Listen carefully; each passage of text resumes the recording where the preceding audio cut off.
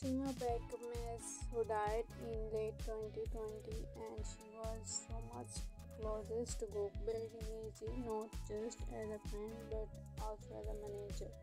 When Britson took Gökberk interview, then she talked about Sema Bekmez.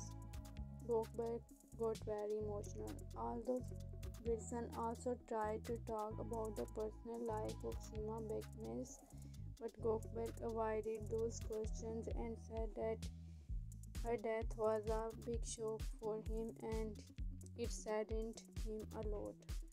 He was so much emotional at that moment. On the other hand, Özge Yağız was happy because her friends came to meet her. Gökberk Demirci got emotional about Sema Bekmez.